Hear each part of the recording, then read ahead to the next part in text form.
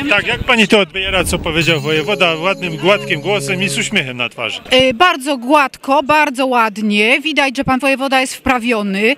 Ja z, jeszcze mówi, że on nie ma żadnych sam postulatów od siebie. Zakładam, że pan wojewoda nie musi się martwić o to, że za chwilę będzie musiał okna ze swojego domu wypruwać, ocieplać ściany. Widocznie pana wojewodę na to stać.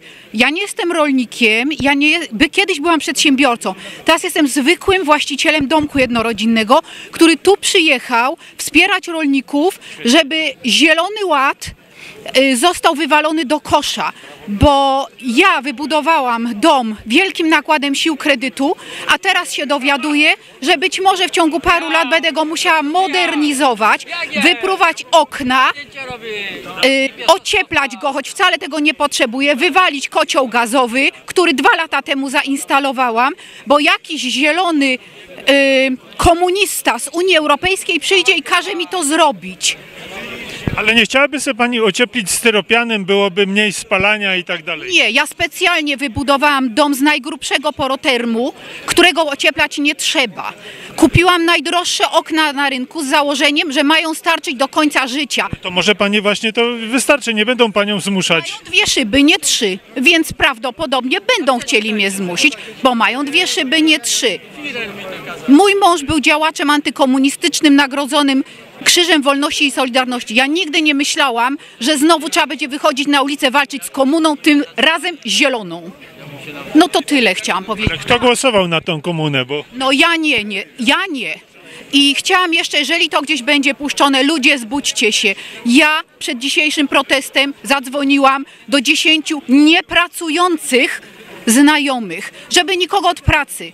Ile jest tu ze mną? Jestem sama. Piją w domu kawę, nie chce im się na proces przyjechać. Uważają, że rolnicy za nich załatwią wszystko. Nie załatwią, ludzie zbudźcie się. Ale to w, w latach.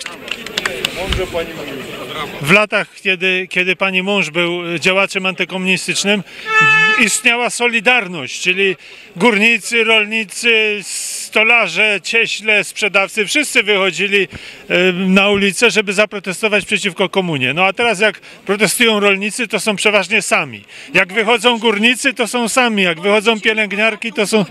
Bo kiedyś był tylko pierwszy program, drugi program i komuna i nic więcej. A teraz siedzą, oglądają Netflixy, cudawianki, mózgi mają wyprane do ostatniego zwoju i zanim się oni się obudzą dopiero, kiedy przyjdzie jakiś patrol ekoklimatyczny i powie, że mają pruć pół domu. Wtedy się obudzą, albo przyjdzie rachunek o 1000% większy, wtedy się obudzą. A to będzie już za późno. Okej, ale kto im te mózgi wyprał? No jak to kto? Sami sobie wyprali bzdury oglądając. Czyli telewizja. Tak.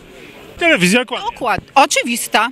Jakie by pani podała przykłady takich programów y, stacji telewizyjnych? Wie pan co, ja już od lat przestałam oglądać i TVP, i TVN. Zlikwidowałam telewizor, oddałam dekoder stacji i powiedziałam, nie macie dla mnie żadnych propozycji, więc na dzień dzisiejszy po prostu nie oglądam Skąd pani czerpie wiedzę o świecie? internetu. Z internetu. Tak.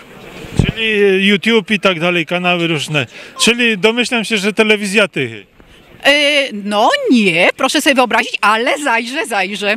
Zapraszamy, zapraszamy. Dziękuję bardzo. No, proszę.